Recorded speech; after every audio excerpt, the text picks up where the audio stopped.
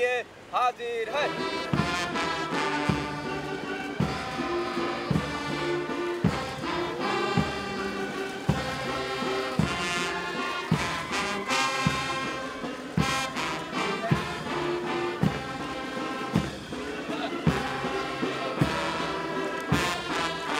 The Honorable Chief Minister's vehicle moving towards the dais.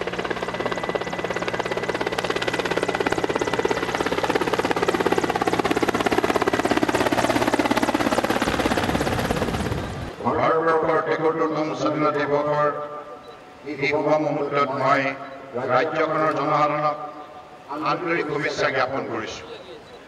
এই পবিত্ৰ মুহূৰ্তত জাতিৰ পিতা মহামানৱ মহাত্মা গান্ধীৰ লগতে ভাৰতবৰ্ষৰ স্বাধীনতা সংগ্ৰামত চৰম ত্যাগ কৰা সকলো স্বাধীনতা সংগ্ৰামী ৰাজ্যখনৰ শ্বহীদ মণিৰাম দেৱান পিয়লি ফুকন উৎপল কোঁৱৰ কনকলতা বৰুৱা মুকুন্দ কাকতি ভোগেশ্বৰী ফুকনানী প্ৰমুখে মুক্তিযোদ্ধাসকলৰ প্ৰতি গভীৰ শ্ৰদ্ধা নিবেদন কৰিছোঁ। দেশৰ সীমান্ত সুৰক্ষাত নিয়োজিত হৈ ভাৰতবৰ্ষৰ সাৰ্বভৌমত্ব ৰক্ষা তথা সন্ত্ৰাসবাদৰ বিৰুদ্ধে অহমৰে যুঁজ দি আত্মবলিদান দিয়া বীৰ শ্বহীদসকলকো মই শ্ৰদ্ধাৰে সোঁৱৰিছোঁ এই পবিত্ৰখনত অসমীয়াই গৰ্বিত কৰা বীৰ শ্বহীদ মহেশ্বৰ বসুমতাৰী বিপুল বৰা বিশ্বজিৎ চৌহান নীৰজ ছেত্ৰী নিৰুদ শৰ্মা কালিদাস শৰ্মা আৰু সুনীল কলিতালৈ মই গভীৰ শ্ৰদ্ধাঞ্জলি যাচিছোঁ এই শুভ মুহূৰ্তত সন্ত্ৰাসবাদীৰ বিৰুদ্ধে সাহসেৰে যুঁজ দি শ্বহীদ হোৱা অসম আৰক্ষীৰ সুদীক্ষ বিষয়া ভাস্কৰ কলিতালৈ মই শ্ৰদ্ধা নিবেদন কৰিছোঁ স্বাধীনতা দিৱসত অসম মাতৃৰ এইগৰাকী সুসন্তানলৈ কেন্দ্ৰীয় চৰকাৰে মহোন্নতভাৱে আগবঢ়োৱা আৰক্ষী সামৰিকতা বঁটাই অসমবাসীক গৌৰৱান্বিত কৰিছে এইগৰাকী শ্বহীদৰ ত্যাগ ৰাজ্যবাসীৰ বাবে এক আদৰ্শ হৈ ইতিহাসৰ পথত সদায় জিলিকি থাকিব। শ্ৰদ্ধা ৰাইজ দেখি মোৰ ধ্যান, জ্ঞান দেখি মোৰ ভগৱান খাদ্য আৰোগ্য ক্ৰমে অসম অংকেশ্বৰী অংকিকাগিৰি ৰায়চৌধুৰী কবিতাৰ এই অমৰ পংক্তিয়ে প্ৰতিগৰাকী ভাৰতীয়ৰ মন আৰু হৃদয় উজ্জীৱিত কৰে এইভাৱে অনুপ্ৰাণিত হৈ বিকশিত ভাৰতৰ লোকাৰ সৎ নিষ্ঠাৱান কঠোৰ পৰিশ্ৰমী বিশ্বকৰ ৰাষ্ট্ৰ নেতা মাননীয় প্ৰধানমন্ত্ৰী নৰেন্দ্ৰ মোদী ডাঙৰীয়াই অসমন্ত ভাৰতবৰ্ষৰ ভেটি সবল কৰিবলৈ গ্ৰহণ কৰা ঐতিহাসিক পদক্ষেপৰ বাবে মই তেখেতক ধন্যবাদ জনাইছোঁ বৈষম্যমূলক অনুচ্ছেদ তিনিশ সত্তৰ। হক দৃঢ়তাৰে সাহসিকতাৰে বাতিল কৰি মাননীয় প্ৰধানমন্ত্ৰী ডাঙৰীয়াই ৰাষ্ট্ৰীয় একতা অখণ্ডতাক সুদৃঢ় কৰাৰ বাবে যি সন্মুখৰ পৰা বলিষ্ঠ নেতৃত্ব দিলে তাৰ বাবে আজি প্ৰতিজন ভাৰতীয় গৌৰৱান্বিত। আৰু সেইবাবে ময়ো অসমৰ জনগণৰ হৈ মাননীয় প্ৰধানমন্ত্ৰী ডাঙৰীয়াক বিশেষভাৱে কৃতজ্ঞতা ধন্যবাদ জনাইছোঁ। লগতে মাননীয় গৃহমন্ত্ৰী অমিত শ্বাহ ডাঙৰীয়ালৈ মোৰ গভীৰ শ্ৰদ্ধা আৰু কৃতজ্ঞতা জ্ঞাপন কৰিছোঁ।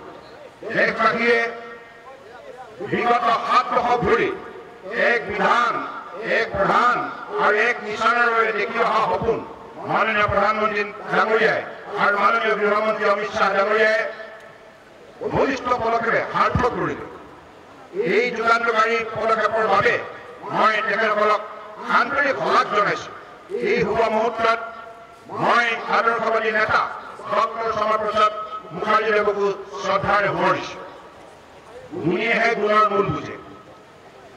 এই আত্মবাক্যহাৰী সত্যতা প্ৰমাণ কৰি মাননীয় প্ৰধানমন্ত্ৰী নৰেন্দ্ৰ মোদী ডাঙৰীয়াই বিশ্ববৰেণ্য শিল্পী পূজাকান্ত ডক্টৰ ভূপেন হাজৰিকাক মৰণোত্তৰভাৱে দেশৰ সৰ্বোচ্চ অসামৰিক সন্মান ভাৰত ৰত্ন সন্মানিত কৰাৰ বাবে অসমবাসীয়ে আজি গৰ্বিত অনুভৱ কৰিছে অসমৰ জনতাৰ আৱেগ অনুভূতিক সদায় প্ৰাধান্য দিয়া মাননীয় প্ৰধানমন্ত্ৰী মোদী ডাঙৰীয়াই এই ঐতিহাসিক পদক্ষেপৰ দ্বাৰা ৰাজ্যবাসীৰ বহুদিনীয়া আকাংক্ষাক বাস্তৱ ৰূপ প্ৰদান কৰিলে। আজি মাননীয় প্ৰধানমন্ত্ৰী দেৱৰ নেতৃত্বত কেন্দ্ৰীয় চৰকাৰে সবকা সাথ, সবকা বিকাশ, সবকা বিশ্বাস নীতিৰে ভাৰতবৰ্ষক বিশ্বগুৰু ৰূপে গঢ়িবলৈ অগ্ৰসৰ হৈছে। মাননীয় প্ৰধানমন্ত্ৰী ডাঙৰীয়া আদৰ্শৰে অনুপ্ৰাণিত হৈ আমাৰ অসম চৰকাৰে অসম মাতৃক ভাৰতবৰ্ষ শক্তিশালী অংগৰূপে গঢ়িবলৈ বিগত পঞ্চল্লিছ মাহে সততা নিষ্ঠা স্বচ্ছতাৰ দায়বদ্ধতাৰে কাম কৰি আহিছে। ৰাজ্যৰ ভাৰত ব্ৰহ্মপুত্ৰ পাহাৰ ভৈয়ামৰ বৃহত্তৰ অসমীয়া জাতিৰ মাটি ভেটিৰ অধিকাৰ সুৰক্ষিত কৰিবলৈ আমাৰ চৰকাৰে দৃঢ়তাৰে পদক্ষেপ গ্ৰহণ কৰি আহিছে। এসময়ত ৰাজ্যত এনে সংসাৰ পৰিৱেশে বিৰাজ কৰিছিল। যেতিয়া জনসাধাৰণে স্বাধীনতা দিৱসত অংশ গ্ৰহণ কৰিবলৈ ভয় কৰিছিল। স্বাধীনতা দিৱসত অংশ ল'বলৈ অহা ফুলকুমলীয়া শিশুক সন্ত্ৰাসবাদীয়ে হত্যা কৰিছিল। এতিয়া সময় সলনি হৈছে। পৰিৱৰ্তনৰ বতাহে ৰাজ্যৰ চাৰিদিশ চুই গৈছে। আমাৰ চৰকাৰে বিগত তিনি বছৰে ৰাইজৰ স্বতঃস্ফূৰ্ত অংশগ্ৰহণেৰে তিনিদিনীয়া কাৰ্যসূচী স্বাধীনতা দিৱস উদযাপন কৰি আহিছে। আৰু চলিত বৰ্ষতো একেধৰণে এই দিৱস পালনৰ ব্যৱস্থা কৰিছে। আমাৰ চৰকাৰে ভাৰত ব্ৰহ্মপুত্ৰ পাহাৰ ভৈয়ামৰ বৃহত্তৰ অসমবাসীক লগত লৈ এখন সমৃদ্ধিশালী অসম নিৰ্মাণৰ যাত্ৰা দৃঢ়তাৰে আগবাঢ়িছে।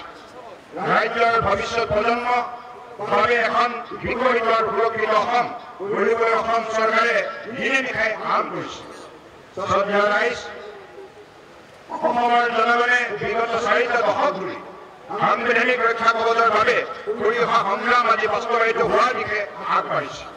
অসম চুক্তিৰ নং দফা ৰূপায়ণৰ বাবে কেন্দ্ৰীয় চৰকাৰে উচ্চস্তৰীয় কমিটি গঠনৰ জৰিয়তে ৰাজ্যখনৰ জনসাধাৰণৰ ভৱিষ্যত সুৰক্ষাৰ বাবে যুগান্তকাৰী পদক্ষেপ গ্ৰহণ কৰিছে। আনহাতে ৰাজ্যখনৰ ইতিপূৰ্বে থকা জনজাতিসমূহৰ স্বাৰ্থৰ অধিকাৰ ব্যাহত নকৰাকৈ ছটা জনগোষ্ঠী কৰ্মে টাই আহোম মৰাণ মটক চুতীয়া ৰাজবংশী তথা চাহ জনগোষ্ঠী আদিবাসীক জনজাতিৰ মৰ্যাদা প্ৰদানৰ বাবে কেন্দ্ৰীয় চৰকাৰে গ্ৰহণ কৰা সিদ্ধান্তই এই জনগোষ্ঠীসমূহৰ অধিকাৰ চিৰকাল সুৰক্ষিত কৰাৰ পথ প্ৰশস্ত কৰিছে। শ্ৰদ্ধা ৰাইজ বিদেশীমুক্ত অসম নিৰ্মাণৰ বাবে আমাৰ চৰকাৰৰ অন্যতম দায়িত্ব হিচাপে আমি আমাৰ কৰ্তব্য পালন কৰিছোঁ। সেই উদ্দেশ্যে মাননীয় উচ্চতম ন্যায়ালয়ৰ প্ৰত্যক্ষ তত্বাৱধানত এন আৰ চি চূড়ান্ত তালিকা প্ৰকাশৰ বাবে চলি থকা প্ৰক্ৰিয়াত আমাৰ চৰকাৰে ভাৰতৰ মহাপুঞ্জীয়ক তথা কেন্দ্ৰীয় চৰকাৰক পূৰ্ণ সহযোগিতা আগবঢ়াই আহিছে বিকাশৰ বিভিন্ন কাম বাদ দিও অসম চৰকাৰৰ পঁচপন্ন হাজাৰ বিষয়া কৰ্মচাৰী আৰু বহু সংখ্যক আৰক্ষীয়ে এন আৰ চি উন্নীতকৰণৰ প্ৰক্ৰিয়াত একনিষ্ঠভাৱে সেৱা আগবঢ়াই আহিছে আমি আশা কৰো মাননীয় উচ্চতম ন্যায়ালয়ৰ তত্বাৱধানত চলি থকা। এই প্ৰক্ৰিয়া সম্পূৰ্ণ হৈ উঠিলে অসমবাসীয়ে এনে এখন ঐতিহাসিক দস্তাবেজ কৰিব, য'ত এজনো বিদেশি নাম অন্তৰ্ভুক্ত নহয় আৰু এজনো ভাৰতীয় নাম বাদ নপৰে। এখন শুদ্ধ আৰু মুক্ত এন আৰ চি স্বাৰ্থতে আমাৰ চৰকাৰে মাননীয় উচ্চতম ন্যায়ালয়ক চলিত এন আৰ চি উন্নীতকৰণ প্ৰক্ৰিয়াৰ পুনৰীক্ষণৰ বাবে ব্যৱস্থা কৰিবলৈ আবেদন জনাইছিল। এইখিনিতে আমি স্পষ্ট কৰিব বিচাৰো যে অসমত বসবাস কৰা প্ৰতিগৰাকী বৈধ ভাৰতীয় নাগৰিকৰ সুৰক্ষা নিশ্চিত কৰিবলৈ আমাৰ চৰকাৰ দায়বদ্ধ। আমাৰ চৰকাৰে জাতি মাটি ভেটিৰ সুৰক্ষা কেৱল শ্লোগান হিচাপে গ্ৰহণ কৰা নাই বৰঞ্চ এই আদৰ্শৰে বৃহত্তৰ অসমবাসীৰ ভাষা কৃষ্টি সংস্কৃতি আৰু ভূমি অধিকাৰ সুৰক্ষিত কৰাৰ দিশত এলানি বাস্তৱমুখী পদক্ষেপ গ্ৰহণ কৰিছে। ৰাইজ ভূমি অধিকাৰ অবিহনে কোনো জাতিৰ অস্তিত্ব সুৰক্ষিত নহয়। এই কথা উপলব্ধি কৰি আমাৰ চৰকাৰে ৰাজ্যৰ ভূমিহীন পৰিয়ালৰ অধিকাৰ আৰু সুৰক্ষাৰ বাবে এক নতুন নীতি শীঘ্ৰে কাৰ্যকৰী কৰাৰ দিশত আগবাঢ়িছে।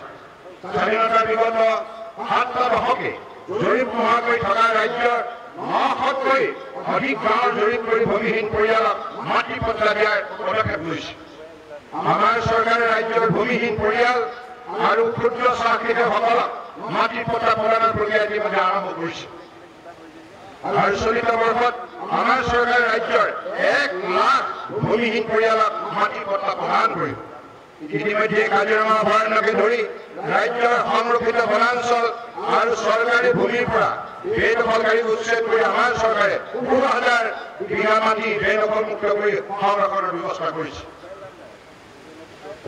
সময়ছোৱাত ৰাজ্যখনত অসমৰ স্বাভিমানৰ প্ৰতীক এশিঙীয়া গড়ৰ নিধনযোগ্য চলিছিল এই অভিৱেশক কাণ্ড ৰোধ কৰাটো আমাৰ চৰকাৰে জাতীয় দায়িত্ব হিচাপে গ্ৰহণ কৰিছে। দ্ৰুত বিচাৰ প্ৰক্ৰিয়াৰ বাবে ফাষ্ট ট্ৰেক কোৰ্ট কথালৈকে ধৰি চোৰাং চিকাৰীৰ বিৰুদ্ধে আমাৰ চৰকাৰে গ্ৰহণ কৰা হস্তমুখী পদক্ষেপৰ ফলত ৰাজ্যত আজি উল্লেখনীয় ভাৱে গড় হত্যা হ্ৰাস পাইছে। তদুপৰি আমাৰ চৰকাৰে কাজিৰঙা ৰাষ্ট্ৰীয় উদ্যানত বানপানীৰ পৰা জীৱ জন্তু ৰক্ষা পাবলৈ তেত্ৰিশটা হাইলেণ্ড নিৰ্মাণ কৰি বহু খাদ্য আৰু চিকিৎসা ব্যৱস্থা কৰিছে ইয়াৰ ফলশ্ৰুতিত এইবাৰ বানপানীৰ সময়ত জীৱ জন্তুসমূহে যথেষ্ট সকাহ লাভ কৰা পৰিলক্ষিত হৈছে ৰাইজ ৰাজ্যৰ বিভিন্ন স্থানত থকা সত্ৰ নামঘৰ দেৱালয় তথা বিভিন্ন ধৰ্মীয় অনুষ্ঠানসমূহ অসমৰ কৃষ্টি সংস্কৃতিৰ কেন্দ্ৰবিন্দু। এই ধৰ্মীয় অনুষ্ঠানসমূহৰ সুৰক্ষা বিকাশৰ বাবে আমাৰ চৰকাৰ দায়বদ্ধ। দুৰ্ভাগ্যবশতঃ আমাৰ সাংস্কৃতিক ঐতিহ্যৰ এই প্ৰতীকসমূহ সময়ৰ গতিত বেদখলৰ কবলত পৰিছে। প্ৰয়োজনীয় আইনৰ অভাৱত চৰকাৰে ইমান দিনে সত্ৰ নামঘৰ দেৱালয় আদি বেদখলকৃত ভূমি বেদখলমুক্ত কৰিব পৰা নাছিল। সেয়েহে আমাৰ চৰকাৰে বিধানসভাৰ শেহতীয়া অধিৱেশনত ইতিপূৰ্বে কাৰ্যকৰী হৈ থকা বিধি সংশোধন ঘটাই ৰাজ্যৰ প্ৰাচীন ধৰ্মীয় অনুষ্ঠানসমূহৰ ভূমি বেদখল মুক্ত কৰাৰ পদক্ষেপ লৈছে। তদুপৰি অসম দৰ্পণ আঁচনিৰ অধীনত সত্ৰ নামঘৰ দল দেৱালয় আদিলৈ আগবঢ়োৱা বাৰ্ষিক আৰ্থিক সাহায্য দুই লাখলৈ বৃদ্ধি কৰাৰ লগতে এই আঁচনিৰ অধীনত নিৰ্বাচিত ধৰ্মীয় অনুষ্ঠানৰ সংৰক্ষণ আৰু সংগঠনৰ বাবে আমাৰ চৰকাৰে আৰ্থিক সাহায্য আগবঢ়োৱাৰ পদক্ষেপ লৈছে। বৰঞ্চ ৰাইজ ইতিহাস অবিহনে কোনো জাতিৰ ভৱিষ্যত গঢ় ল'ব নোৱাৰে। ইতিহাসৰ জ্ঞান অবিহনে ভৱিষ্যত প্ৰজন্মই শক্তিশালী ভেটি গঢ়িব নোৱাৰে। স্বৰ্গদেউ চাউলুং চুকাফা মহাপুৰুষ শ্ৰীমন্ত শংকৰদেৱ মাধৱদেৱ আজাদ ফকীৰৰ সমন্বয় আৰু সহাৱস্থানৰ আদৰ্শৰে গঢ় লৈ উঠা বৃহত্তৰ অসমীয়া সমাজৰ ইতিহাস অতিশয় চহকী। আমাৰ ইতিহাস আৰু ঐতিহ্য ভৱিষ্যত প্ৰজন্মৰ বাবে সুৰক্ষিত কৰিবলৈ আমাৰ চৰকাৰ দায়বদ্ধ। সেই উদ্দেশ্যে আমাৰ চৰকাৰে বিস্তৃত কাৰ্যসূচী গ্ৰহণ কৰিছে। ৰাজ্যখনৰ ঐতিহাসিক কীৰ্তিচিহ্নসমূহৰ সংৰক্ষণৰ লগতে প্ৰতিটো জাতি জনগোষ্ঠীৰ ৰীতি নীতি পৰম্পৰাসমূহ জীয়াই ৰখাৰ বাবে আমাৰ চৰকাৰে কাম কৰিছে। ভাষা হৈছে এটা জাতিৰ মেৰুদণ্ড। আমি বিশ্বাস কৰোঁ যে মৌলিক উদ্ভাৱন আৰু সৃজনীশীল প্ৰতিভাৰ বিকাশ ঘটাবলৈ মাতৃভাষা কেন্দ্ৰিক সাংস্কৃতিক পৰিৱেশৰ খুবেই প্ৰয়োজন। অসমৰ জাতি জনগোষ্ঠীসমূহৰ সাহিত্য আৰু সংস্কৃতি সংৰক্ষণ প্ৰসাৰ আৰু বিকাশ সেয়েহে আমাৰ চৰকাৰৰ অন্যতম লক্ষ্য। এই উপলব্ধিৰে আমাৰ চৰকাৰে ৰাজ্যৰ জাতি জনগোষ্ঠীসমূহৰ ভাষাসমূহ সংৰক্ষণৰ বাবে ভাষা গৌৰৱ আঁচনি ৰূপায়ণৰ বাবে আগবাঢ়িছে। এই আঁচনিৰ অধীনত জনগোষ্ঠীয় ভাষাসমূহৰ গৱেষণাৰ ভাগ মুকলি কৰাৰ লগতে ভাষাসমূহৰ ব্যাকৰণ গ্ৰন্থ অভিধান তথা বিশ্বকোষ আদি প্ৰকাশৰ বাবে আমাৰ চৰকাৰে ব্যৱস্থা গ্ৰহণ কৰিছে। ৰাইজ ৰাজ্যৰ ভৌগোলিক পৰিসীমা অতিক্ৰম কৰি অসমৰ সন্তানে নিজৰ মেধা বুদ্ধিমত্তা আৰু অন্যান্য প্ৰতিভাৰে দেশে বিদেশে জিলিকি উঠিছে। দেশৰ বিভিন্ন প্ৰান্তৰ লগতে বিশ্বৰ বিভিন্ন দেশত আজি প্ৰবাসী অসমীয়া সমাজ গঢ় লৈ উঠিছে। ৰাজ্যত বসবাস কৰা অসমবাসীৰ লগতে প্ৰবাসী অসমীয়াসকলৰ প্ৰতিও আমাৰ চৰকাৰ দায়বদ্ধ। এইসকল প্ৰবাসী অসমীয়াৰ শিপাৰ সৈতে সম্পৰ্ক যাতে নিবিড় হৈ থাকে সেই দিশত আমাৰ চৰকাৰে চিন্তা চৰ্চা কৰিছে। অসমৰ এইসকল সন্তানে শাৰীৰিক মানসিক আৰু কৰ্মক্ষেত্ৰত সন্মুখীন হোৱা সমস্যাৰাজিৰ পৰা তেওঁলোকক সকাহ দিয়াৰ মানুহৰে আমাৰ চৰকাৰে বুজন সংখ্যক অসমীয়া লোক বসবাস কৰা দেশৰ মহানগৰসমূহত কল্যাণ বিষয়া নিয়োগ কৰাৰ লগতে জাতীয় উৎসৱ উদযাপন তথা নামঘৰ প্ৰতিষ্ঠা কৰাৰ পদক্ষেপ গ্ৰহণ কৰাৰ সিদ্ধান্ত লৈছে। শিক্ষা কৰ্মসংস্থাপন তথা তীৰ্থযাত্ৰাৰ বাবে দেশৰ বিভিন্ন স্থানলৈ যোৱা ৰাজ্যৰ লোকসকলে সন্মুখীন হোৱা সমস্যাসমূহ সমাধান কৰা তথা তেওঁলোকৰ সুৰক্ষা আৰু সহায়ৰ বাবেও আমাৰ চৰকাৰ দায়বদ্ধ। এই ক্ষেত্ৰত বিগত এপ্ৰিল মাহৰ শেষৰ ভাগত উৰিষ্যাৰ সামুদ্ৰিক ঘূৰ্ণীবতাহ ফণীয়ে ধ্বংসলীলা চলোৱাৰ সময়ত পুৰী আৰু ভুৱনেশ্বৰ আবদ্ধ হৈ পৰা অসমৰ লোকসকলক সুকলমে ৰাজ্যলৈ উভতাই অনাৰ ক্ষেত্ৰত আমাৰ চৰকাৰে গ্ৰহণ কৰা ব্যৱস্থাৰ কথা অসমবাসী জ্ঞাত। ৰাজ্যৰ বায়ু পানীৰ সংস্পৰ্শত ডাঙৰ দীঘল হোৱা যিসকল অসম সন্তান বিদেশত স্বকীয় প্ৰতিভাৰে উজলি উঠিছে। তেখেতসকললৈ স্বাধীনতা দিৱসৰ এই শুভ মুহূৰ্তত মই প্ৰণাম জনাইছো। সেইসকল অসম সন্তানক মই বৃহত্তৰ অসমীয়া জাতি সত্তাৰ বিকাশৰ অংশীদাৰ হৈ ৰাজ্যৰ উন্নয়নত নতুন মাত্ৰা প্ৰদান কৰিবলৈ আগবাঢ়ি অহাৰ বাবে বিনম্ৰভাৱে আহ্বান জনাইছো। শ্ৰদ্ধেয় ৰাইজ আমাৰ চৰকাৰে বৰাক আৰু ব্ৰহ্মপুত্ৰ উপত্যকাৰ সমবিকাশৰ বাবে দায়বদ্ধতাৰে কাম কৰিছে বৰাক উপত্যকাত মিনি হস্পিটেল নিৰ্মাণৰ বাবে ইতিমধ্যে পদক্ষেপ লোৱা হৈছে চৰকাৰৰ এই পদক্ষেপৰ ফলত ক্ষমতাৰ বিকেন্দ্ৰীকৰণ হোৱাৰ লগতে বৰাকবাসীয়ে কম সময়ৰ ভিতৰতে উন্নত মানৰ সেৱা লাভ কৰিবলৈ সক্ষম হ'ব।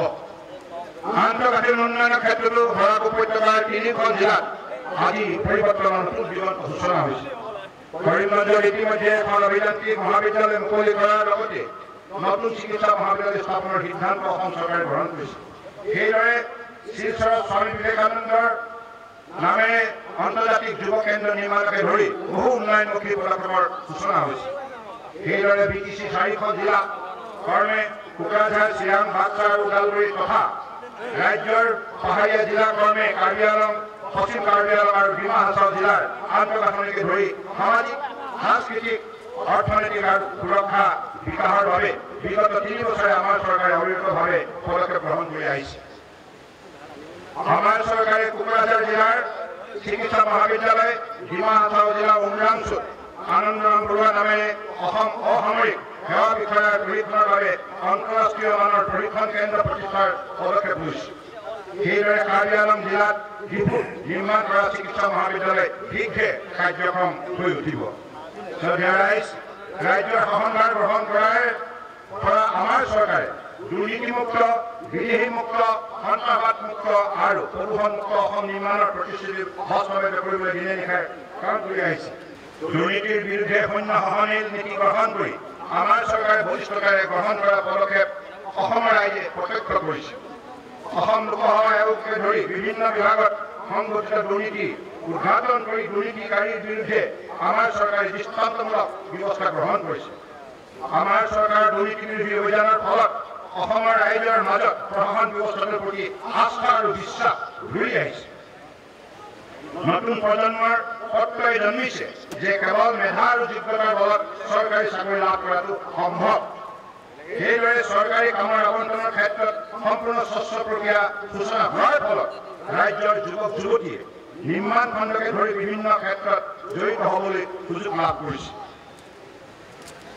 আজি চৰকাৰী কৰ্মচাৰীসকলৰ মাজত কৰ্ম সংস্কৃতি উল্লেখনীয়ভাৱে বৃদ্ধি পোৱাটো পৰিলক্ষিত হৈছে।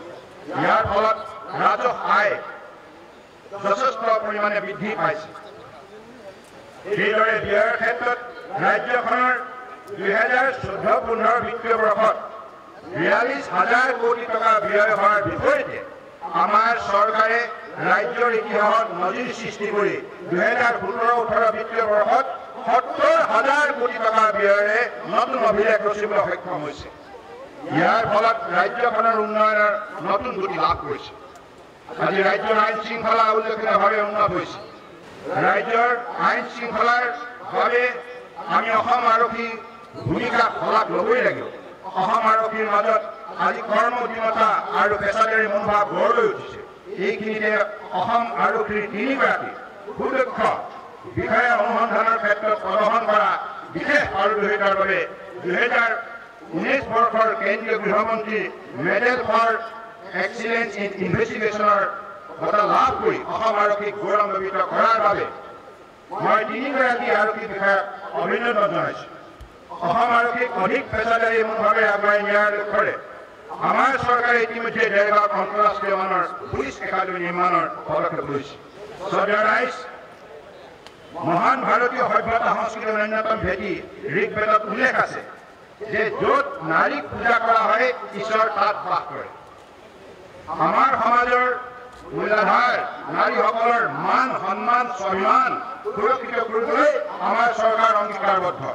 সেয়েহে নাৰীৰ সন্মান হানিকৰ ঘটনাত জড়িত অভিযুক্তৰ বিৰুদ্ধে আমাৰ চৰকাৰে তাৎক্ষণিকভাৱে বলিষ্ঠ পদক্ষেপ গ্ৰহণ কৰিছে। বীৰ শ্বহীদৰ পত্নীৰ প্ৰতি অপমানসূচক মন্তব্য কৰা দুষ্কৃতিকাৰীক প্ৰবল প্ৰতিৰোধ নেওচি কাশ্মীৰৰ পৰা গ্ৰেপ্তাৰ কৰি অসমলৈ অনাকে ধৰি নাৰীৰ বিৰুদ্ধে অপৰাধত জড়িত প্ৰতিটো অপৰাধীক আমাৰ চৰকাৰে আয়ত্ব কৰিছে। সেইদৰে ৰাজ্যৰ গুৱাহাটী বটদ্ৰৱা যমুনামুখ নামডিং চাপতগ্ৰাম আদি ঠাইত নাৰী আৰু কিশোৰীৰ মৰ্যাদা হানি কৰা জঘন্যতম অপৰাধত জড়িতসকলক আৰক্ষীয়ে ক্ষিপ্ৰতাৰে গ্ৰেপ্তাৰ কৰিছে। ফাৰ্ষ্ট কোৰ্টত তৎকালীনভাৱে এই গোচৰসমূহ নিষ্পত্তি কৰি অপৰাধী দৃষ্টান্তমূলক শাস্তি প্ৰদানৰ পদক্ষেপ লৈছে। ইয়াৰ ফলত নাৰী বিৰুদ্ধে সংগঠিত অপৰাধ বহু পৰিমাণে হ্ৰাস পোৱাটো পৰিলক্ষিত হৈছে। ৰাজ্যৰ প্ৰাকৃতিক সম্পদ যাতে ৰাজ্যবাসীৰ সৰ্বাংগীন বিকাশৰ উপযুক্তভাৱে যাতে ব্যৱহৃত হয় সেই দিশত আমাৰ চৰকাৰে গুৰুত্ব আৰোপ কৰিছে। প্ৰদূষণমুক্ত অসম নিৰ্মাণৰ লক্ষ্যক আগুৱাই নিবলৈ আমি শৃংখলাবদ্ধ পদক্ষেপেৰে আগবাঢ়িছোঁ।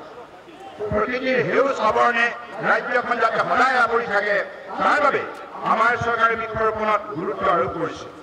আমাৰ চৰকাৰে ৰাজ্যখনৰ দহ কোটি গছ পুলি ৰোপণৰ কাৰ্যসূচী গ্ৰহণ কৰিছে ৰাজ্যখনত ৰেইন ৱাটাৰ হাৰ্ভেষ্টিং জনপ্ৰিয়কৰণৰ বাবে আমাৰ চৰকাৰে পদক্ষেপ লৈছে এখন স্বচ্ছ আৰু সেউজ অসম গঢ়িবলৈ আমাৰ চৰকাৰে গ্ৰহণ কৰা পদক্ষেপক ৰাজ্যবাসী সহযোগিতা মনোভাৱেৰে আগবাঢ়ি আহিবলৈ মই এই শুভ মুহূৰ্তত আহ্বান জনাইছো।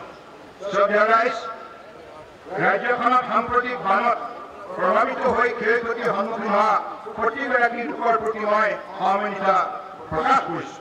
শেহতীয়া বানৰ অকাল মৃত্যু সাৱটি লোৱা ব্যক্তিসকলৰ বিদেহী আত্মাৰ চিৰশান্তি কামনা কৰাৰ লগতে পৰিয়ালসমূহৰ প্ৰতিও মই গভীৰ সমবেদনা জ্ঞাপন কৰিছো। বানাক্ৰান্তসকলৰ দুৰ্যোগতা দুৰ্দুৰ্বহা লাঘৱৰ বাবে উদ্ধাৰ আৰু সাহায্যকে ধৰি আমাৰ চৰকাৰে যথাসম্ভৱ সকলো পদক্ষেপ গ্ৰহণ কৰিছে। তদুপৰি বানত প্ৰাণ হেৰুওৱা ব্যক্তিসকলৰ আত্মীয়ক আঠচল্লিছ ঘণ্টাৰ ভিতৰত এককালীন আৰ্থিক সাহায্য প্ৰদানৰ ব্যৱস্থা কৰা হৈছে। বানৰ দ্বাৰা প্ৰভাৱিত লোকসকলৰ সহায়ৰ বাবে ৰাজ্যৰ লগতে দেশৰ বিভিন্ন প্ৰান্তৰ বহু লোক আগবাঢ়ি আহিছে। তেখেতসকললৈ মই ধন্যবাদ আৰু কৃতজ্ঞতা জনাইছো। আমি মাননীয় প্ৰধানমন্ত্ৰী নৰেন্দ্ৰ মোদী ডাঙৰীয়া আৰু মাননীয় গৃহমন্ত্ৰী অমিত শ্বাহ ডাঙৰীয়াকো ধন্যবাদ জনাব বিচাৰিছো। দুয়োগৰাকী নেতাই নিয়মীয়াকৈ বান পৰিস্থিতি বুজ লোৱাৰ লগতে ৰাজ্য চৰকাৰক পৰ্যাপ্ত পৰিমাণে সহযোগিতা আগবঢ়াইছে। আমাৰ চৰকাৰে বানপানী গৰাখহনীয়া সমস্যাৰ স্থায়ী সমাধানৰ বাবে বাস্তৱমুখী পদক্ষেপ গ্ৰহণ কৰিছে। ইতিমধ্যে মাননীয় প্ৰধানমন্ত্ৰী নৰেন্দ্ৰ মোদী ডাঙৰীয়াৰ নিৰ্দেশত বান গৰাখহনীয়া সমাধানৰ সূত্ৰ উলিয়াবলৈ নীতি আয়োগৰ উপাধ্যক্ষক উপাধ্যক্ষৰ নেতৃত্বত গঠন কৰা ৰাষ্ট্ৰীয় পৰ্যায়ৰ উচ্চস্তৰীয় কমিটিয়ে উত্তৰ পূব জল ব্যৱস্থাপনা প্ৰাধিকৰণৰ গঠনৰ পৰামৰ্শ আগবঢ়াইছে। ৰাজ্যৰ বান গৰাখহনীয়া সমস্যা সমাধানত এই পদক্ষেপে সুদূৰ প্ৰসাৰী প্ৰভাৱ পেলাবলৈ সক্ষম হ'ব বুলি আমি আশাবাদী। শ্ৰদ্ধেয় ৰাইজ আমাৰ চৰকাৰে ৰাজ্যৰ আয়োজন বিনিয়োগ সন্মিলনৰ ফলশ্ৰুতি দুহেজাৰ ওঠৰ বৰ্ষৰ ফেব্ৰুৱাৰীৰ পৰা বৰ্তমানলৈকে ৰাজহুৱা আৰু ব্যক্তিগত খণ্ডত তেপন্ন হাজাৰ কোটিৰো অধিক টকাৰ বিনিয়োগৰ প্ৰক্ৰিয়া আৰম্ভ হৈছে। ইতিমধ্যে উদ্যোগ তথা সেৱা খণ্ডত বুজত সংখ্যক উদ্যোগে ব্যৱসায়িক উৎপাদন আৰম্ভ কৰিছে।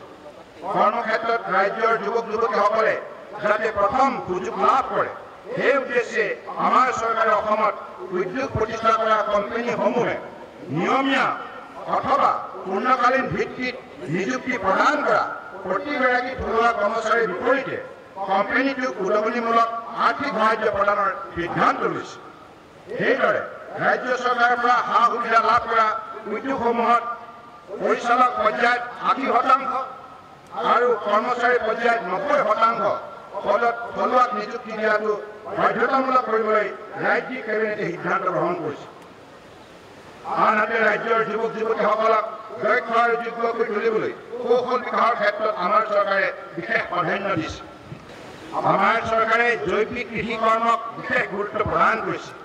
এই দিশত সহায় হোৱাকৈ ৰাজ্যত এখন জৈৱিক বিশ্ববিদ্যালয় প্ৰতিষ্ঠাৰ বাবে আমাৰ চৰকাৰে চিন্তা চৰ্চা কৰিছে। তদুপৰি কৃষি খণ্ডত উৎপাদন বৃদ্ধিৰ লক্ষ্যৰে আমাৰ চৰকাৰে কৃষকসকলৰ এক্সপ'জাৰ টুৰ পদক্ষেপ লৈছে। ৰাজ্যৰ কৃষকসকল যাতে উন্নত আধুনিক বিজ্ঞানসন্মত আৰু উদ্ভাৱনীমূলক কৃষি পদ্ধতিৰ সৈতে পৰিচয় হৈ উঠে সেইবাবে আমাৰ চৰকাৰে বিগত বৰ্ষত ৰাজ্যৰ কৃষকৰ এটা দল ভিয়েটনামলৈ লৈ গৈছে। প্ৰধানমন্ত্ৰী উজালা যোজনা জন ধন যোজনা মুদ্ৰা যোজনা আৱাস যোজনা সৌভাগ্য আঁচনি স্বচ্ছ ভাৰত অভিযানৰ আদি আঁচনিৰ জৰিয়তে আমাৰ চৰকাৰে ৰাজ্যখনৰ প্ৰায় সকলো পৰিয়ালৰ মৌলিক প্ৰয়োজনসমূহ পূৰণ কৰিবলৈ সক্ষম হৈছে।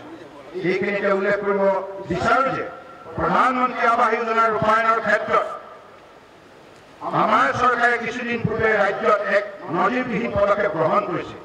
এই পদক্ষেপৰ অংশ হিচাপে আমাৰ চৰকাৰে ৰাজ্যৰ তেত্ৰিছখন জিলাত একে সময়তে এক লাখ গৃহ নিৰ্মাণৰ কাৰ্য শুভাৰম্ভ কৰিছে।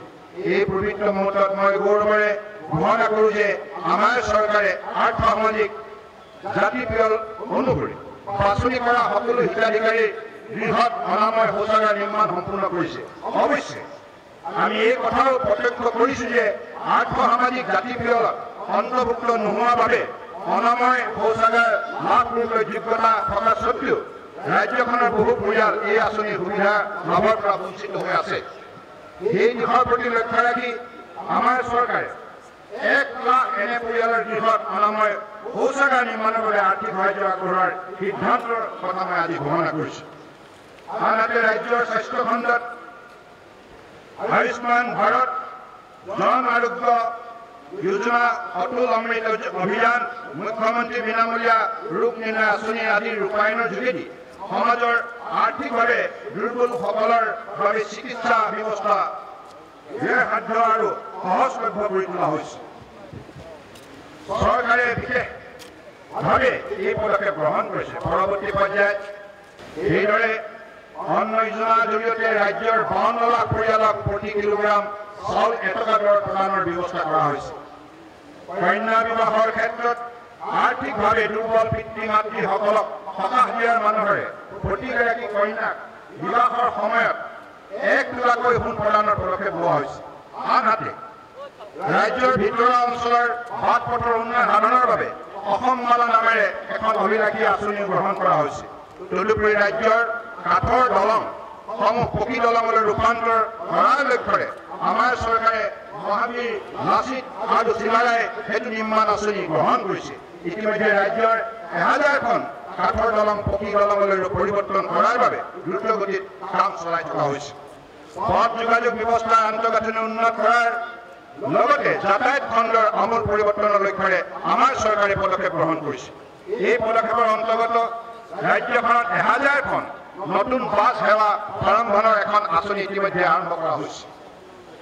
আজি এই শুভ মুহূৰ্তত এই আঁচনিখন সম্প্ৰসাৰণ কৰি ৰাজ্যৰ গাঁওসমূহতো উন্নত আৰু সহজলভ্য যাতায়াত ব্যৱস্থা আৰম্ভ কৰা হ'ব বুলি মই ঘোষণা কৰিলোঁ। প্ৰাৰম্ভিক পৰ্যায়ত ৰাজ্যৰ দহ হাজাৰখন গাঁৱত পৰ্যায়ক্ৰমে লঘু যাত্ৰীবাহী বাহনৰ সেৱা আৰম্ভ কৰা হ'ব।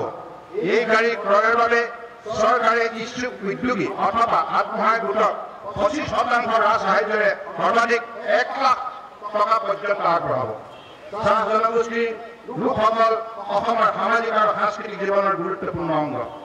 এই জনগোষ্ঠীয় লোকে যাতে মৰ্যাদা সম্পন্ন জীৱনৰ লাভ ইয়াৰ বাবে আমাৰ চৰকাৰে বিত্তীয় অন্তৰ্ভুক্তিকৰণ মহিলা সবলীকৰণ স্বাস্থ্য শিক্ষা দিশত কেইবালনীয় কাৰ্যসূচী ৰূপায়ণ কৰিছে। অন্ন আঁচনিৰ অধীনত আমাৰ চৰকাৰে চাহ জনগোষ্ঠীৰ প্ৰায় ছয় লাখ পৰিয়ালক বিনামূলীয়াকৈ চাউল যোগানৰ ব্যৱস্থা কৰিছে তদুপৰি চাহ জনগোষ্ঠীৰ যুৱক যুৱতীসকলৰ ব্যৱসায় বাণিজ্যৰ জৰিয়তে স্বাৱলম্বী কৰি তুলিবলৈ আমাৰ চৰকাৰে পদক্ষেপ গ্ৰহণ কৰিছে ইয়াৰ অংশ হিচাপে চাহ জনগোষ্ঠীৰ দহ হাজাৰ যুৱক যুৱতীৰ কৌশল বিকাশৰ বাবে আমাৰ চৰকাৰে বিশেষ পদক্ষেপ গ্ৰহণ কৰিছে আৰু পৰৱৰ্তী পৰ্যায়ত নিজাববীয়াকৈ ব্যৱসায় আৰম্ভ কৰিবলৈ এইসকল যুৱক যুৱতীয়ে পঁচিছ হাজাৰ টকাকৈ এককালীন আৰ্থিক সাহায্য তেখেতসকলে পাবলৈ সক্ষম হ'ব। সেইদৰে ৰাজ্যৰ সংখ্যালঘু জনসাধাৰণ অনুসূচিত জাতি অনুসূচিত জনজাতি আৰু অন্যান্য পিছপৰা শ্ৰেণীৰ সামাজিক শৈক্ষিক আৰু অৰ্থনৈতিক বিকাশৰ বাবেও আমাৰ চৰকাৰে বিভিন্ন পদক্ষেপ গ্ৰহণ কৰিছে। শ্ৰদ্ধেয় ৰাইজ আমি বিশ্বাস কৰোঁ যে এখন সমাজৰ অগ্ৰগামী যাত্ৰাৰ বাবে শিক্ষা ক্ৰীড়া আৰু সংস্কৃতি এই তিনিটা দিশত এখন সমাজ সবল হোৱাটো অত্যন্ত জৰুৰী। জ্ঞান আহৰণৰ যাত্ৰাত আৰ্থিক দৈন্যতা যাতে হেঙাৰ হ'ব নোৱাৰে তাৰ বাবে আমাৰ চৰকাৰে জ্ঞান দীপিকা আঁচনিকে ধৰি বিভিন্ন আঁচনি হাতত লৈ বিনামূলীয়া পাঠ্যপুথি ইউনিফৰ্ম যোগানৰ উপৰিও শিক্ষানুষ্ঠানত নামভৰ্তি মাচুল তথা পৰীক্ষা মাচুল ৰেহাই দিয়াৰ দৰে পদক্ষেপ গ্ৰহণ কৰিছে। নাৰী শিক্ষাক আমাৰ চৰকাৰে প্ৰাধান্য দি আহিছে। কন্যা মহাবিদ্যালয় স্থানককে ধৰি ৰাজ্যৰ ছাত্ৰীসকলৰ বাবে স্বাস্থ্য অনুকূল ইতিবাচক শৈক্ষিক পৰিৱেশ গঢ় দিবলৈ আমাৰ চৰকাৰে পদক্ষেপ লৈছে। এই শুভ মুহূৰ্তত মই ঘোষণা কৰিব বিচাৰো যে এই পদক্ষেপত আগুৱাই নি আমাৰ চৰকাৰে ৰাজ্যৰ চৰকাৰী আৰু প্ৰাদেশিকৃত সকলো উচ্চ মাধ্যমিক আৰু উচ্চতৰ মাধ্যমিক বিদ্যালয়ত ৰানিং ৱাটাৰ টয়লেট আৰু বিনামূলীয়া চেনিটেৰী নেপকিন ভেণ্ডিং মেচিন সুবিধা কৰাৰ বাবে গাৰ্লছ কমন ৰুম নিৰ্মাণ কৰিব। চৌধুৰী ৰাইজ ৰাজ্যৰ খেলুৱৈসকলক উৎসাহিত আৰ্থিক দিশত তেওঁলোকক সবল কৰাৰ উদ্দেশ্যে আমাৰ চৰকাৰে এক সংযত ৰাজ্যিক ক্ৰীড়া নীতি গ্ৰহণৰ ব্যৱস্থা কৰিছে। ৰাজ্যৰ ক্ৰীড়া প্ৰতিভাসমূহক ৰাষ্ট্ৰীয় আন্তঃৰাষ্ট্ৰীয় পৰ্যায়ে প্ৰতিযোগিতাৰ বাবে গঢ়ি তুলিবলৈ খেলুৱৈসকলৰ উন্নত প্ৰশিক্ষণৰ ব্যৱস্থা আমাৰ চৰকাৰে গ্ৰহণ কৰিছে। ইয়াৰ উপৰিও গ্ৰাম্য অঞ্চলৰ ক্ৰীড়া প্ৰতিভাসমূহক উপযুক্ত সুযোগ প্ৰদানৰ লক্ষ্যৰে ৰাজ্যৰ তিনিশ একত্তৰখন খেলপথাৰ অত্যাধুনিকভাৱে গঢ়ি তোলাৰ লগতে শ্ৰী শ্ৰী অনিৰুদ্ধদেৱৰ নামত এখন ক্ৰীড়া বিশ্ববিদ্যালয় প্ৰতিষ্ঠাৰ বাবে পদক্ষেপ লোৱা হৈছে। তদুপৰি নিজৰ সফলতাৰ ৰাজ্যখনক গৌৰৱান্বিত কৰা এহাজাৰ গৰাকী ক্ৰীড়াবিদক পঞ্চাছ হাজাৰ টকাকৈ এককালীন আৰ্থিক সাহায্য প্ৰদানৰ পদক্ষেপো আমাৰ চৰকাৰে গ্ৰহণ কৰিছে। এইখিনিতে আন্তঃৰাষ্ট্ৰীয় ক্ৰীড়া ক্ষেত্ৰত উজলি উঠি ৰাজ্যৰ সুনাম বৃদ্ধি কৰা দৌৰবিদ হিমা দাস প্ৰমুখে ৰাষ্ট্ৰীয় আন্তঃৰাষ্ট্ৰীয় পৰ্যায়ে জিলিকি উঠা সকলো ক্ৰীড়াবিদলৈ মই অভিনন্দন জনাইছোঁ। বৰ্ণিং সংস্কৃতিয়ে যাতে বিশ্বৰ বুকুত সুকীয়া স্থান দখল কৰিব পাৰে তাৰ বাবে আমাৰ চৰকাৰে দায়বদ্ধতাৰে পদক্ষেপ গ্ৰহণ কৰিছে। মাজুলীত সাংস্কৃতিক বিশ্ববিদ্যালয় স্থাপন কৰা হৈছে। চলচ্চিত্ৰ উদ্যোগলৈ আশাৰ বতৰা কঢ়িয়াই আমাৰ চৰকাৰে ৰাজ্যিক চলচ্চিত্ৰ নীতি প্ৰণয়ন কৰিছে। ৰাজ্যৰ চলচ্চিত্ৰ উদ্যোগৰ সৈতে জড়িত শিল্পী কলা কৌশলীসকলক উৎসাহিত কৰাৰ বাবে ৰাজ্যিক চলচ্চিত্ৰ বঁটা পুনৰ আৰম্ভ কৰাৰ লগতে চলচ্চিত্ৰ প্ৰদৰ্শনৰ বাবে প্ৰয়োজনীয় আন্তঃগাঁথনি নিৰ্মাণৰ দিশত পদক্ষেপ লৈছে। চলচ্চিত্ৰৰ সমান্তৰালভাৱে ভ্ৰাম্যমান থিয়েটাৰ উদ্যোগটো সবল কৰি তুলিবলৈ আমাৰ চৰকাৰে গুৰুত্ব দিছে। এই দিশত পদক্ষেপ গ্ৰহণ কৰি আমাৰ চৰকাৰে পাঁচ বছৰতকৈ অধিক কাল ভ্ৰাম্যমান থিয়েটাৰৰ সৈতে জড়িত হৈ থকা শিল্পী তথা কলা কৌশললৈ পঞ্চাছ হাজাৰ টকাকৈ এককালীন আৰ্থিক সাহায্য আগবঢ়াব তদুপৰি অন্যান্য প্ৰতিভাৰে ৰাজ্যৰ সাংস্কৃতিক জগতখন চহকী কৰা ৰাজ্যৰ এহাজাৰগৰাকী শিল্পীক পঞ্চাছ হাজাৰ টকাকৈ এককালীন আৰ্থিক সাহায্য আগবঢ়োৱা হ'ব। এইখিনিতে দুহেজাৰ ঊনৈছ বৰ্ষৰ সন্মানীয় ৰাষ্ট্ৰীয় চলচ্চিত্ৰ বঁটাৰ ৰজত কমল বঁটাৰে ৰাজ্যখনলৈ গৌৰৱ কঢ়িয়াই অনা চলচ্চিত্ৰ পৰিচালক ৰীমা দাস মঞ্জু বৰা ভূমি শৰ্মা বৰুৱাক মই অভিনন্দন জনাইছোঁ। শ্ৰদ্ধেয় ৰাইজ সুশাসন আৰু উন্নয়নক মূল লক্ষ্য হিচাপে লৈ অসমক দেশৰ অন্যতম শ্ৰেষ্ঠ ৰাজ্য হিচাপে গঢ়াৰ দিশত আমাৰ চৰকাৰে সফলতাৰে আগবাঢ়িছে অন্ধবিশ্বাস আৰু দুষ্কৃতি নাশ কৰি বিজ্ঞানসন্মতভাৱে এখন সমাজ নিৰ্মাণত আমাৰ চৰকাৰে আত্মনিয়োগ কৰিছে। এই লক্ষ্যৰে সংস্কাৰ মানুহে মানুহৰ বাবে নামেৰে এখন অভিনৱ আঁচনি আমাৰ চৰকাৰে ৰূপায়ণ কৰিছে। নৱপ্ৰজন্মক দক্ষ যোগ্য কৌশলী কৰি তুলিবলৈ আমাৰ চৰকাৰে কাম কৰিছে। বৰাক ব্ৰহ্মপুত্ৰ পাহাৰ ভৈয়ামৰ বৃহত্তৰ অসমবাসীক লগত লৈ সৰ্বশ্ৰেষ্ঠ অসম নিৰ্মাণৰ যাত্ৰাত আমাৰ চৰকাৰ অগ্ৰসৰ হৈছে। ৰাজ্যৰ সৰ্বাংগীন উন্নয়নৰ এই যাত্ৰাত আমাৰ চৰকাৰে ৰাইজৰ দিহা পৰামৰ্শৰ মতামতক সদায় গুৰুত্ব সহকাৰে গ্ৰহণ কৰি আহিছে। মই দৃঢ় বিচাৰি যে ৰাজ্যবাসীৰ সহযোগত নিষ্ঠা দায়বদ্ধতা আৰু কঠোৰ পৰিশ্ৰমৰ বিকশিত অসম নিৰ্মাণ অসম চৰকাৰে বাস্তৱত কৰি তুলিব পাৰিব। বিশ্বৰ বুকুত বৃহত্তৰ অসমীয়া জাতি অধিক উজলি উঠি যাতে স্বাভিমানেৰে আগবাঢ়ি যাব পাৰে তেনে পৰিৱেশ ৰচনাৰ বাবে সমগ্ৰ অসমবাসীক একতাৰে আগবাঢ়ি আহিবলৈ মই এই শুভ মুহূৰ্তত আহ্বান জনালোঁ। ৰাইজ আজি এই মুহূৰ্তটো আমাৰ বাবে ঐতিহাসিক মুহূৰ্ত। কাৰণ ৰাষ্ট্ৰীয় একতা অখণ্ডতাক অধিক শক্তিশালী ৰূপ দিয়া বাবে মাননীয় প্ৰধানমন্ত্ৰী নৰেন্দ্ৰ মোদী ডাঙৰীয়া আৰু মাননীয় গৃহমন্ত্ৰী অমিত শ্বাহ ডাঙৰীয়াই যি বলিষ্ঠ পদক্ষেপ ল'লে তাৰ বাবে আজি প্ৰতিগৰাকী ভাৰতীয় গৌৰৱান্বিত সি য'তেই থাকক ভাৰতবৰ্ষতে থাকক বা বিদেশৰ মাটিতে থাকক প্ৰতিজন ভাৰতীয়ই আজি ৰাষ্ট্ৰীয় ভাৱনাৰ শক্তিৰে আজি উদ্দীপিত হৈছে। আৰু প্ৰতিগৰাকী ভাৰতীয়ই এই সংকল্পৰে মাননীয় প্ৰধানমন্ত্ৰী ডাঙৰীয়াৰ বলিষ্ঠ নেতৃত্বত আগবাঢ়িছে। এইখন ৰাষ্ট্ৰক বিশ্বৰ বুকুত সৰ্বশ্ৰেষ্ঠ ৰাষ্ট্ৰ হিচাপে আমি প্ৰতিষ্ঠা কৰিম। আমাৰ বীৰত্ব আমি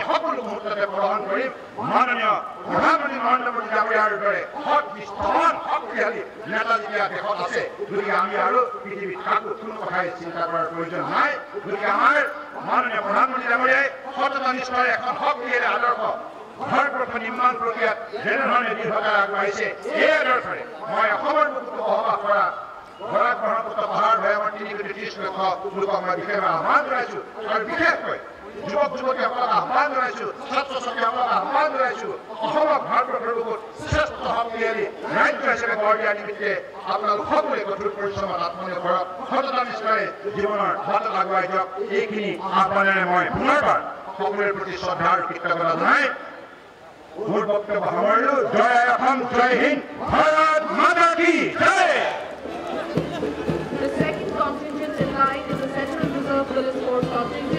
Feinspector Armin Romaniabe.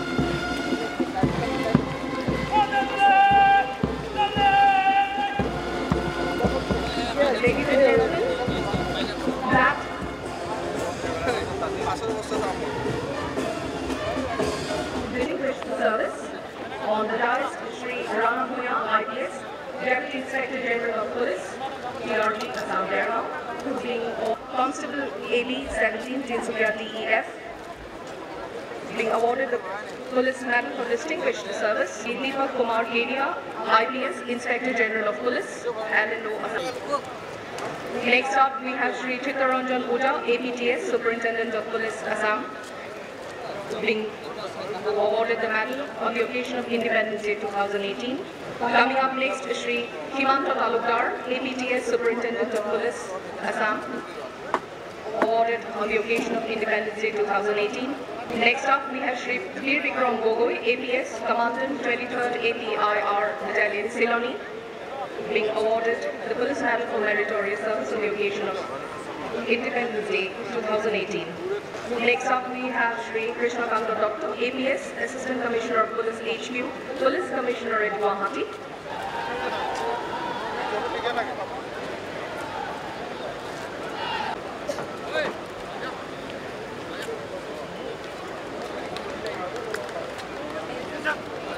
And the second prize goes to the 60th Assam Battalion NCC Girls.